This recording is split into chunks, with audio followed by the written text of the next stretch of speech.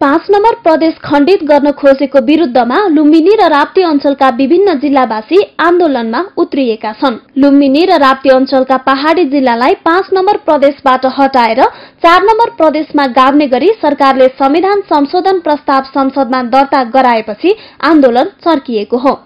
पाँच नम्बर प्रदेशका पहाड़ र तराईका जिल्लालाई छुट्याउन नहुने भन्दै बुटोल केन्द्रित आन्दोलनले शनिबार पाँचौं दिन पार गरेको छ।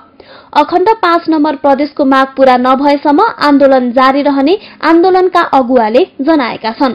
यस्तै अखण्ड लुम्बिनीको पक्षमा पनि पहाड़ी जिल्लाहरूमा दिनहु बन्द हड़ताल र्याली विरोध प्रदर्शन लगायतका कार्यक्रमहरू पनि निरन्तर भइरहेका छन्। राजनैतिक दल तथा तिनका भातृ संगठनहरू सामाजिक संघ संस्था तथा नागरिक समाज उद्योगी व्यवसायी तथा मजदूरहरू शिक्षक विद्यार्थी पेसाकर्मीहरू सबैले आन्दोलनमा सक्रियता देखाएका छन्।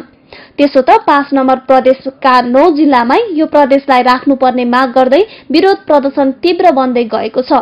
तराईवासी र पहाड़ी समुदाय बीच भावनात्मक सम्बन्ध भएकाले सशक्त प्रतिकारको चेतावनी पनि दिएका छन्। मुटु र कलेजो अलग राख्नु र यो रूपन्देही पाल्पा कपिलवस्तु अर्खाँची र गुल्मीलाई अलग गर्नु एउटै हो। यहाँका जनभावनाहरूको विरुद्धमा यहाँका जनताहरूको विरुद्धमा सरकारले जुन यो पाँच नम्बर प्रदेश अथवा लुम्बिनीलाई विखण्डन गर्ने योजना बनाएको छ यो कुनै पनि हालतमा सफल हुन सक्दैन। शासन पद्धतिमा आएर चाहिँ सबै जात जातिलाई टुक्र्याउने गरिएको छ। यसले गर्दाखेरिमा एकात्मकतामा खलबलिएको छ एकता खलबलिएको छ। एकता खलबल्याउने काम बाहेक केही होइन।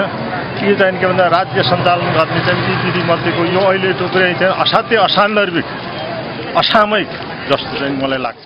आन्दोलनमा सत्तारूढ दलका सांसदले पनि नेतृत्वदायी भूमिका खेलेपछि आन्दोलन प्रभावकारी बनेको हो। आन्दोलनमा सत्तारूढ नेपाली कांग्रेसका केन्द्रीय सदस्य चन्द्र भण्डारी र नेकपा माओवादी केन्द्रका नेता टोपबहादुर रायमाझीले पाँच नम्बर प्रदेश कुनै पनि हालतमा टुक्राउन नहुने बताएका छन्।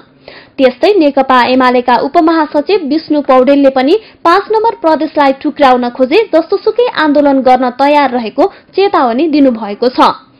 आन्दोलन यथावत रहेकाले कहिले टुङ्गिने अझै टुङ्गो छैन तथापि पाँच नम्बर प्रदेशभित्रका विभिन्न जिल्लामा दैनिक जस्तो भएको विरोध प्रदर्शनपछि स्थानीयको जनजीवन भने प्रभावित भएको छ। सगरमाथा टेलिभिजनका लागि रूपन्देहीबाट बिना ढकालको रिपोर्ट।